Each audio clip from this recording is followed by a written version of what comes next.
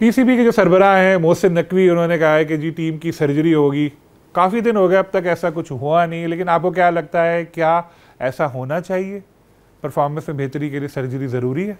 Surgery अब I don't know किस किस वे में जो चेयरमैन साहब ने बोला है कि सर्जरी जो है हम वो uh, करेंगे क्या हम ग्यारह के ग्यारह प्लेयर चेंज कर देंगे पंद्रह प्लेयर चेंज करेंगे विच इज़ नॉट पॉसिबल और ये मुमकिन भी नहीं है क्योंकि हम रियली सॉरी टू से हमारे पास उस तरह के बैकअप नहीं है। कि हम जो है वो जो है वो ग्यारह के ग्यारह प्लेयर चेंज कर दें या पंद्रह के पंद्रह प्लेयर चेंज कर दें आई डोंट नो कि क्या सर्जरी है और क्या सर्जरी होगी। लेकिन ये है कि चीज़ें बिल्कुल ठीक होनी चाहिए और क्रिकेट की बेहतरी के लिए जो है वो करना चाहिए। चेयरमैन साहब को स्ट्रॉन्ग जो स्टेप्स हैं वो लेने चाहिए डिसीज़न लेने चाहिए। लेकिन इसी चीज़ में अगर रह के हम अपनी चीज़ों को बेहतर करेंगे तो इसमें पाकिस्तान का ज़्यादा फ़ायदा मेरे ख्याल से। आप बिल्कुल अपनी बेंच स्ट्रेंथ जो है वो उसको स्ट्रॉन्ग करें और करनी भी चाहिए। दुनिया की हर टीम जो है वो करती है। हमने अभी रिसेंट पास में देखा है तीन चार सालों में जब से कोविड भी है टीमें ये दो दो टीमें भी खेलती रही इंटरनेशनल टूर पे। एक टीम डिफरेंट कंट्री में और उसी कंट्री की टीम एक टीम डिफरेंट कंट्री में है। तो दो टीमें बिल्कुल होनी चाहिए। और अगर आज आपके पास दो टीमें ऐसी होती तो आपके पास बैकअप ऐसे होते तो शायद जो है वो आपको ये कहना ना पड़ता कि सर्जरी करेंगे या ये करेंगे या वो करेंगे। तो फिर आप अगर आपके पास ऐसी चीज़ें रेडी होती तो आप फ़ौरन कहते कि भाई ठीक है, मेरे पास एक बंदा बैठा हुआ है जिसने साठ फ़र्स्ट क्लास मैचेस खेले हुए हैं, वो टी ट्वेंटी में उसका डेढ़ सौ का स्ट्राइक रेट है जो अपना तो उसको आप ले आओ। तो आपके पास अनफॉर्चुनेटली ये नहीं है। यहाँ आप कह रहे हो कि मेरे पास एक ऐसा फास्ट बॉलर है कि जो छह बॉलों में छह आउट कर देगा या चार आउट कर देगा, पाँच आउट कर देगा। तो आप उसको ले आओ आपके पास ऐसा नहीं है यहाँ आपके पास कोई ऐसा स्पिनर्स नहीं है। अभी टेस्ट सीरीज़ आ रही है तो आपको आप, आप देखिएगा आपके पास दूसरा स्पिनर नहीं होगा। तो क्योंकि हम कहाँ से दूसरा स्पिनर्स खिलाएँ? क्योंकि अभी जो टेस्ट सीरीज़ आ रही है वो पाकिस्तान में जहाँ पे आपको स्पिनर्स की ज़रूरत पड़ेगी। तो आपके पास दूसरा स्पिनर्स नहीं है तो आप कहाँ से स्पिनर लेके आएँगे? तो ये सबसे पहले तो इस चीज़ को हमने जो है वो देखना है कि भाई हमारे पास हाँ सर्जरी करने के लिए हमारे पास सीजर है या वो सर्जिकल जो हमारे पास इक्विपमेंट में होती है वो है तो हम जो है वो सर्जरी करते हैं इसके साथ।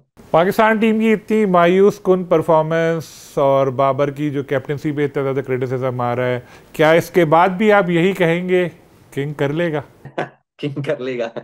अभी तो अभी तो हालाँकि टूर पे उसने भी मुझे बोला यार तुमने मैं क्या क्या हो गया यार बॉब्जी मैंने बोल दिया देखिए सलीम भाई he is the king of Pakistan batting lineup और उसको भी इम्प्रूव करना चाहिए मुझे भी इम्प्रूव करना चाहिए हर किसी को इम्प्रूव करना चाहिए जैसे मैंने अभी इंटरव्यू के शुरू में ही बोले बोला था।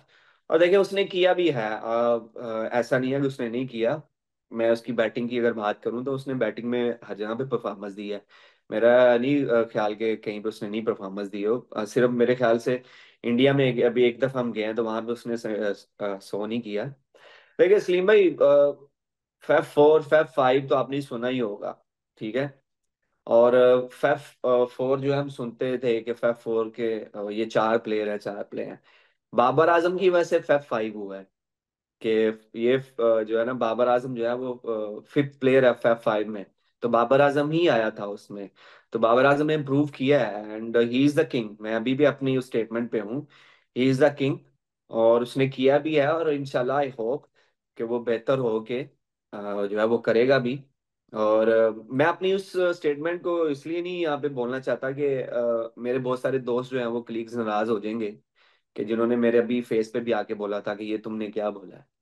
तो माजी में बहुत कुछ बोलते रहे लेकिन मैं वो नहीं बोलना चाहता क्योंकि मेरी ये तरबियत नहीं है कि मैं अपने ही दोस्तों के अगेंस्ट जो है वो बोलूँ और ना मैं कभी बोलूँगा इनशाला तो बस किंग कर लेगा इनशाला आखिर में सर ये बताते हैं कि कम बैक का क्या सोचा है आपने?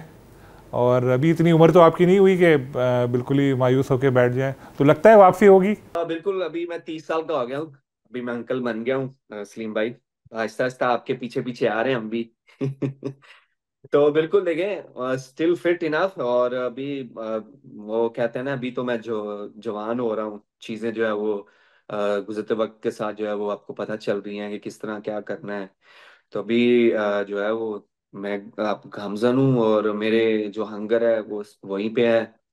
मेरा पैशन वहीं पे है। मेरी फिटनेस जो है वो वहीं पे है। बल्कि अब तो बहुत सारी चीज़ें जो है वो मैंने डिसिप्लिन के साथ ठीक भी की हैं और इंशाल्लाह करता रहूँगा इसको, जहाँ तक सेक्रीफाइस हो हो सकेगा कि मैं एक बेटर एथलीट बनूं और जैसा मैंने बोला है सलीम भाई के मैं वो प्लेयर हूँ या मैं वो इंसान हूँ कि मैं परफॉर्मेंस पे जो है वो बिलीव करता हूँ।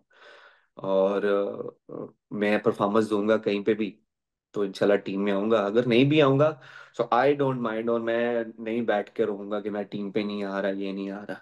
बट उसके लिए मुझे सबसे पहले जो है वो परफॉर्मेंस करनी पड़ेगी चाहे मैं किसी लीग में भी खेलूँ या पाकिस्तान की डोमेस्टिक भी खेलूं या कहीं पे भी जाऊँ। तो मेरा काम है परफॉर्म करना और परफॉर्म करके जो है वो टीम में एक स्ट्रॉन्ग कमबैक करना।